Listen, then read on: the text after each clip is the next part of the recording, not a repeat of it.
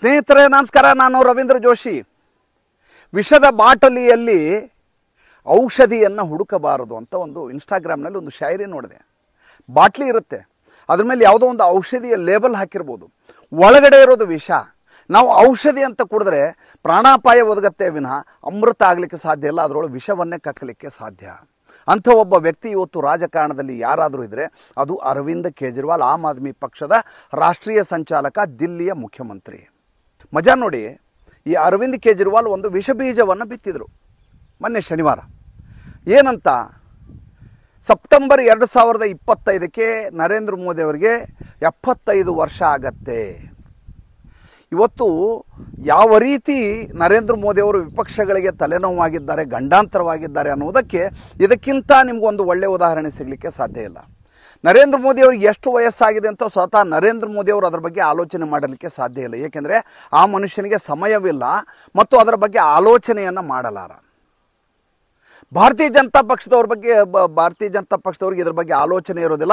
ಏಕೆಂದರೆ ನರೇಂದ್ರ ಮೋದಿ ಅವರ ಕಣ್ಣೆದುರಿಗೆ ಯಾವತ್ತೂ ಸಂಧ್ಯಾಕಾಲದಲ್ಲಿರುವಂಥ ಒಬ್ಬ ಮುಪ್ಪಿನಲ್ಲಿರುವಂಥ ರಾಜಕಾರಣಿ ಅಂತ ಅನಿಸಿಲ್ಲ.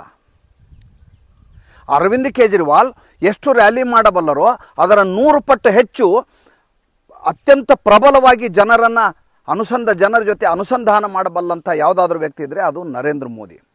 ಈ ಸುಡು ಬೇಸಿಗೆಯಲ್ಲಿ ದಿನಕ್ಕೆ ನಾಲ್ಕರಿಂದ ಐದು ರ್ಯಾಲಿ ಮಾಡಿ ಸಂಜೆ ಆದ ಮೇಲೆ ಚಾನಲ್ಗಳಿಗೆ ಸಂದರ್ಶನ ಕೊಟ್ಟು ಒಂದೇ ಒಂದು ಕ್ಷಣವನ್ನು ವ್ಯರ್ಥಗೊಳಿಸಲಾರದಂಥ ರಾಜಕಾರಣಿಯ ವಯಸ್ಸೆಷ್ಟಾಗಿದೆ ಅನ್ನುವಂಥ ಬೀಜವನ್ನು ವಿಷ ಬೀಜವನ್ನು ಈಗ ಮೊನ್ನೆ ಶನಿವಾರ ದಿವಸ ಅರವಿಂದ್ ಕೇಜ್ರಿವಾಲ್ ಬಿತ್ತಿದ್ದಾರೆ. ಇದನ್ನು ದಯವಿಟ್ಟು ಅವರ ಮಾತು ಅಂತ ಪರಿಗಣಿಸಬಾರದು. ಇದು ಒಂದು ವಿಷದ ಬೀಜ ಅಂತ ಪರಿಗಣಿಸಬೇಕು. ಯಾವ ನರೇಂದ್ರ ಮೋದಿಯ ಮೇಲೆ ಯಾವುದೇ ಲೋಪವನ್ನು, ಯಾವುದೇ ಚ್ಯುತಿಯನ್ನು ಮಾಡಲಿಕ್ಕೆ ಸಾಧ್ಯ ಇಲ್ಲವೋ, ಯಾವ ನರೇಂದ್ರ ಮೋದಿಯ ಮೇಲೆ ಯಾವುದೇ ಒಂದು ಅಪವಾದವನ್ನು ಮತ್ತು ಯಾವುದೇ ಒಂದು ರೀತಿಯಾದಂಥ ವ್ಯಕ್ತಿ ಭಂಜನ ಮಾಡಲಿಕ್ಕೆ ಸಾಧ್ಯ ಇಲ್ಲವೋ ಅಂಥ ಸಂದರ್ಭದಲ್ಲಿ ಆತನ ವಯಸ್ಸನ್ನು ಇಟ್ಕೊಂಡು ರಾಜಕಾರಣ ಮಾಡಬೇಕು ಅಂತ ಇವತ್ತು ಜೈಲಿನಿಂದ ಹೊರಗಡೆ ಬಂದಿದ್ದಾರೆ ಅರವಿಂದ್ ಕೇಜ್ರಿವಾಲ್. ಅವರು ಹೇಳ್ತಾರೆ, ಸೆಪ್ಟೆಂಬರ್ ಎರಡು ಸಾವಿರದ ಇಪ್ಪತ್ತೈದಕ್ಕೆ ನರೇಂದ್ರ ಮೋದಿ ಅವರಿಗೆ ಎಪ್ಪತ್ತೈದು ವರ್ಷ ಆಗುತ್ತೆ, ಅವರು ಮುಂದೆ ಮುಂದೆ ಪ್ರಧಾನಮಂತ್ರಿಯಾಗಿ ಮುಂದುವರಿಯೋದಿಲ್ಲ. ನೋಡಿ, ಈ ದೇಶದ ಜನರ ಮನಸ್ಥಿತಿಯನ್ನು ಈಗ ಒಂದು ಶಾಂತವಾಗಿ ನದಿ ಹರಿತಾ ಇರುತ್ತೆ. ಒಂದು ಕಲ್ಲು ಒಗೆದು ಬಿಡು. ಪ್ರಶಾಂತವಾದಂಥ ನದಿ. ಆ ನದಿಗೆ ಒಂದು ಕಲ್ಲು ಒಗೆದ ತಕ್ಷಣ ಅಲ್ಲಿ ಒಂದು ರೀತಿಯದಾದಂಥ ಅಲೆ ಉಂಟಾಗತ್ತೆ. ಡಿಸ್ಟರ್ಬನ್ಸ್ ಅಂತ ಕರೆಯುತ್ತೆ. ಅಂಥದ್ದೊಂದು ಡಿಸ್ಟರ್ಬನ್ಸ್ ಮಾಡುವ ಕೆಲಸವನ್ನು ಅರವಿಂದ್ ಕೇಜ್ರಿವಾಲ್ ಮಾಡಿರೋದು. ಯಾರಿಗೆ ಮಾಡಿರೋದು? ಇದು ಸೂಚನೆ ಭಾರತೀಯ ಜನತಾ ಪಕ್ಷಕ್ಕೂ ಅಲ್ಲ, ನರೇಂದ್ರ ಮೋದಿಗೂ ಅಲ್ಲ. ಈ ದೇಶದಲ್ಲಿರುವಂಥ ಎಡಚರು, ಈ ದೇಶದ ದೇಶದ್ರೋಹಿಗಳು, ಈ ದೇಶದ ವಿಪಕ್ಷಗಳು ಇದನ್ನು ಬಳಸಿಕೊಂಡು ರಾಜಕಾರಣ ಮಾಡಿ ಅಂತ ಅವರು ಪರೋಕ್ಷವಾಗಿ ಈ ಮಾತನ್ನು ಹೇಳಿದ್ದಾರೆ. ಇವತ್ತು ಯಾರಿಗೆ ಮತ ಹಾಕ್ತೀರಿ ಅಂತ ಯಾರಾದರೂ ಕೇಳಿದ್ರೆ ಭಾರತೀಯ ಜನತಾ ಪಕ್ಷಕ್ಕೆ ಮತ ಹಾಕ್ತಿದ್ದೀವಿ ಅಂತ ಜನ ಹೇಳೋದಿಲ್ಲ. ನೀವು ಯಾರಿಗೆ ಮತ ಹಾಕಿ ಅಂತ ನರೇಂದ್ರ ಮೋದಿ ಅವರ ಭಾಷಣದಲ್ಲಿ ಕೇಳಿದ್ರೆ ನರೇಂದ್ರ ಮೋದಿಗೆ ನೀವು ಮತ ಹಾಕಿ ಅಂತ ಸ್ವತಃ ನರೇಂದ್ರ ಮೋದಿ ಹೇಳ್ತಾರೆ. ಮೋದಿ ಕಿ ಗ್ಯಾರಂಟಿ ಅಂತ ಅವ್ರು ಹೇಳ್ತಾರೆ. ಬಿ ಜೆ ಪಿ ಕಿ ಗ್ಯಾರಂಟಿ ಅಂತ ಹೇಳೋದಿಲ್ಲ. ಏಕೆಂದರೆ ಯಾವ ವ್ಯಕ್ತಿ ಇಡೀ ಜನರಿಗೆ ಕೊಟ್ಟಂಥ ಮಾತಿನ ಭಾರವನ್ನು ತನ್ನ ಮೇಲೆ ಹೇರಿಕೊಳ್ಳಬಲ್ಲಂಥ ವ್ಯಕ್ತಿತ್ವವನ್ನು ರೂಪಿಸಿಕೊಂಡಿರುವಂಥ ಏಕಮ ವ್ಯಕ್ತಿ ನರೇಂದ್ರ ಮೋದಿ. ಈಗ ಕರ್ನಾಟಕದಲ್ಲಿ ವಿಧಾನಸಭಾ ಚುನಾವಣೆ ಇತ್ತು. ಐದು ಗ್ಯಾರಂಟಿಗಳನ್ನು ಘೋಷಿಸಿದರು. ಐದು ಗ್ಯಾರಂಟಿಗಳನ್ನ ಘೋಷಿಸಿದ ಸಂದರ್ಭದಲ್ಲಿ ಡಿ ಕೆ ಶಿವಕುಮಾರ್ಗೆ ಒಂದಷ್ಟು ಜನ ಪತ್ರಕರ್ತರು ಕೇಳ್ತಾರೆ. ನೀವು ಈ ರೀತಿ ಘೋಷಣೆಗಳನ್ನು ಮಾಡಿದ್ರಲ್ಲ ಇದನ್ನು ನೀವು ಅನುಷ್ಠಾನಕ್ಕೆ ತರಲಿಕ್ಕೆ ಸಾಧ್ಯವಾ ಅಂತ. ಅವಾಗ ಡಿ ಕೆ ಶಿವಕುಮಾರ್ ಹೇಳಿದ ಏನು ಗೊತ್ತಾ? ಒಂದು ಗೃಹಲಕ್ಷ್ಮಿ ಯೋಜನೆಯನ್ನು ನಾನು ಹೇಳಿದ್ದಲ್ಲ, ಅದು ಪ್ರಿಯಾಂಕಾ ವಾಡ್ರಾ ಹೇಳಿದ್ದು. ಇನ್ನೊಂದು ಈ ಯೋಜನೆ ನಾವು ಹೇಳಿದ್ದಲ್ಲ, ರಾಹುಲ್ ಗಾಂಧಿ ಹೇಳಿದ್ದು. ನಾನು ಸಿದ್ದರಾಮಯ್ಯ ಹೇಳಿದ್ದು ಮೂರು ಗ್ಯಾರಂಟಿಗಳು. ಆದರೂ ಕೂಡ ಐದನ್ನೂ ಇನ್ನು ಅನುಷ್ಠಾನಕ್ಕೆ ತರಲಿಕ್ಕೆ ಪ್ರಯತ್ನ ಮಾಡ್ತೀವಿ ಅಂತ ಹೇಳಿದರು. ಅಂದರೆ ಸ್ವತಃ ಡಿ ಕೆ ಶಿವಕುಮಾರ್ಗೆ ಮೊದಲೇದಾಗಿ ತಾವು ಅಧಿಕಾರಕ್ಕೆ ಬರೋದಿಲ್ಲ ಅಂತ ಅನುಮಾನ. ಎರಡನೇದಾಗಿ ಒಂದು ವೇಳೆ ಅಧಿಕಾರಕ್ಕೆ ಬಂದ ಸಂದರ್ಭದಲ್ಲಿ ತಾವು ಸಿಲುಕಿ ಹಾಕಿಕೊಳ್ಳಬಾರದು. ಇದು ನಮ್ಮ ಆಶ್ವಾಸನೆಗಳಲ್ಲ, ಒಂದು ಪ್ರಿಯಾಂಕಾ ವಾಡ್ರಾ ಕೊಟ್ಟಿದ್ದಾರೆ, ಒಂದು ರಾಹುಲ್ ಗಾಂಧಿ ಕೊಟ್ಟಿದ್ದಾರೆ. ಮೂರನ್ನು ನಾನು ಮತ್ತು ಸಿದ್ದರಾಮಯ್ಯ ಕೊಟ್ಟಿದ್ದೇವೆ. ಅನುಷ್ಠಾನಕ್ಕೆ ತರ್ತೀವಿ, ಸಾಧ್ಯ ಆದರೆ ಐದನ್ನು ಅನುಷ್ಠಾನಕ್ಕೆ ತರ್ತೀವಿ. ಅಂದರೆ ತಮಗೇ ನಂಬಿಕೆ ಇಲ್ಲ, ಖಚಿತತೆ ಇಲ್ಲ, ತಮ್ಮಲ್ಲೇ ಆತ್ಮವಿಶ್ವಾಸ ಇಲ್ಲ, ದೃಢತೆ ಇಲ್ಲ. ಸಂಕಲ್ಪದ ಬಗ್ಗೆ ತಮ್ಮೊಳಗೆ ಅನುಮಾನ ಇದೆ. ಅಂಥ ವ್ಯಕ್ತಿ ಆ ರೀತಿಯ ಘೋಷಣೆಗಳನ್ನು ಹೇಳ್ತಾರೆ ಹೇಳಿ ಅದನ್ನು ಅನುಷ್ಠಾನಕ್ಕೆ ತರಲಿಕ್ಕೆ ಇವತ್ತಿಗೂ ತಿಣುಕಾಡ್ತಾ ಇದ್ದಾರೆ. ಆದರೆ ನರೇಂದ್ರ ಮೋದಿ ನೂರ ನಲವತ್ತು ಕೋಟಿ ಜನರಿಗೆ ಮೋದಿ ಕಿ ಗ್ಯಾರಂಟಿ ಅಂತ ಹೇಳ್ತಾರೆ.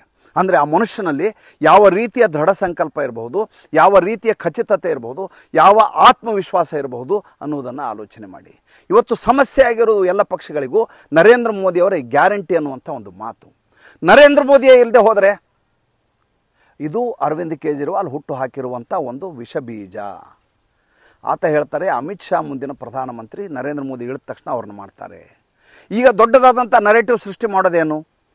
ಅರವಿಂದ್ ಕೇಜ್ರಿವಾಲ್ ಹೇಳಿರುವ ಪ್ರಕಾರ ನರೇಂದ್ರ ಮೋದಿ ಮುಂದೆ ಪ್ರಧಾನಮಂತ್ರಿ ಆಗಿರುವುದಿಲ್ಲ.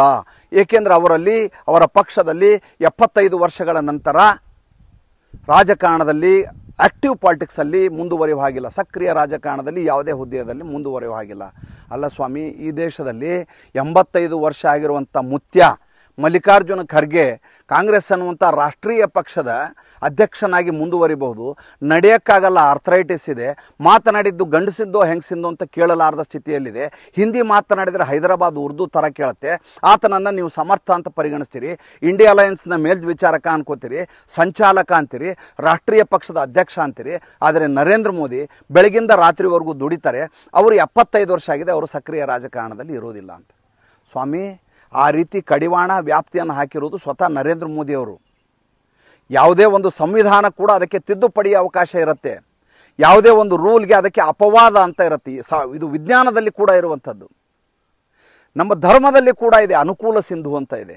ಅಂದರೆ ಯಾವ ಸಂದರ್ಭದಲ್ಲಿ ಅದನ್ನು ಹೇಗೆ ಬಳಕೆ ಮಾಡಬೇಕು, ನಮ್ಮ ಅನುಕೂಲಕ್ಕೆ ತಕ್ಕ ಹಾಗೆ ನಾವು ಮಾಡಿಕೊಳ್ಳುವಂಥ ಕಡಿವಾಣಗಳು, ಷರತ್ತುಗಳು, ನಿಬಂಧನೆಗಳು.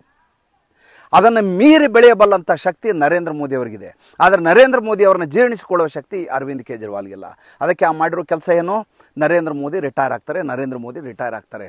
ಈ ಬೀಜವನ್ನು ಬಿತ್ತಿದ್ದಾರಲ್ಲ ನಾನು ಹೇಳಿದ್ನಲ್ಲ, ಔಷಧಿಯ ಬಾಟಲಿ ಅಂತೇಳಿ ಅದರಲ್ಲಿ ವಿಷವನ್ನು ತುಂಬಿದರೆ ಅದು ಔಷಧಿಯಾಗಲಿಕ್ಕೆ ಸಾಧ್ಯವಿಲ್ಲ. ವಿಷ ಬಾಟಲಿಯಲ್ಲಿ ಅಮೃತವನ್ನು ಹುಡುಕುವ ಕೆಲಸ ಮಾಡಬಾರ್ದು. ಅರವಿಂದ್ ಕೇಜ್ರಿವಾಲ್ ಬಾಯಿಂದ ಒಳ್ಳೆಯ ಮಾತನ್ನು ನಿರೀಕ್ಷೆ ಮಾಡಬಾರ್ದು, ದೇಶಕ್ಕೆ ಒಳ್ಳೆಯದಾಗುವುದನ್ನು ಈತ ಆಲೋಚನೆ ಮಾಡ್ತಾನಂತ ಪರಿಗಣಿಸಬಾರ್ದು. ಈಗ ಅರವಿಂದ್ ಕೇಜ್ರಿವಾಲ್ ಮಾಡುವ ಕೆಲಸ ಏನು ಗೊತ್ತಾ?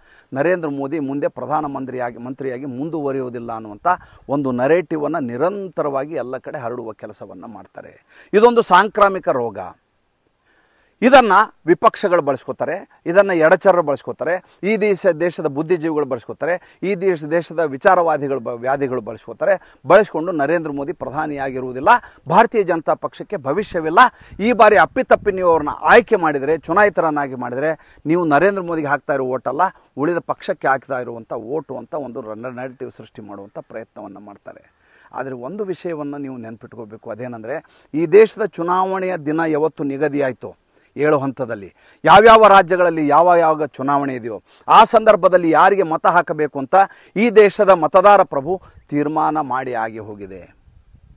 ಅರವಿಂದ್ ಕೇಜ್ರಿವಾಲ್ ಒಳಗಡೆ ಇದ್ದರು ಹೊರಗಡೆ ಬಂದರು. ಅರವಿಂದ್ ಕೇಜ್ರಿವಾಲ್ ನೂರೆಂಟು ಸುಳ್ಳು ಹೇಳಿದರೂ ಕೂಡ ಅವರ ಮನಸ್ಸಿನೊಳಗೆ ಇರುವಂಥ ದೃಢತೆಯನ್ನು ಅಲುಗಾಡಿಸಲಿಕ್ಕೆ ಸಾಧ್ಯವಿಲ್ಲ.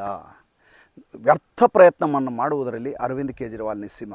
ನನಗಿರುವಂಥ ಆಲೋಚನೆ ಏನು ಗೊತ್ತಾ? ಈ ರೀತಿಯಾದಂಥ ವಿಷ ಬೀಜವು ಬಿತ್ತುವ ಮೂಲಕ ಈತ ದೇಶಕ್ಕೆ ಅಭದ್ರ ಆಗಲಿಕ್ಕೆ, ದೇಶವನ್ನು ಹಾಳು ಮಾಡಲಿಕ್ಕೆ ಪ್ರಯತ್ನ ಮಾಡ್ತಾರಲ್ಲ, ಅದು ಕೂಡ ಸಂಚುಗಾರಿಕೆ ಅಂತ ನಾವು ಪರಿಗಣಿಸಬೇಕಾಗತ್ತೆ. ಈತನಿಗೆ ಕೊಟ್ಟಿರುವಂಥ ಈ ಮಧ್ಯಂತರ ಜಾಮೀನು ಇದೆಯಲ್ಲ, ಅದು ಯಾವ ಮಟ್ಟಿಗೆ ಮಾರಕ ಅನ್ನೋದಕ್ಕೆ ಈ ಉದಾಹರಣೆಯನ್ನು ಹೇಳಿದೆ. ಮತ್ತೆ ಮುಂದಿನ ಸಂಚಿಕೆಯಲ್ಲಿ ಮಾತಾಡ್ತೀನಿ. ಸಂಚಿಕೆ ಇಷ್ಟ ಇದ್ದರೆ ಲೈಕ್ ಮಾಡಿ, ಫಾಲೋ ಮಾಡಿ, ಶೇರ್ ಮಾಡಿ. ನಮ್ಮ ಮುಕ್ತ ಪತ್ರಿಕೋದ್ಯಮಕ್ಕೆ ದಯವಿಟ್ಟು ಆರ್ಥಿಕವಾಗಿ ಬೆಂಗಾವಲಾಗಿ ನಮಸ್ಕಾರ.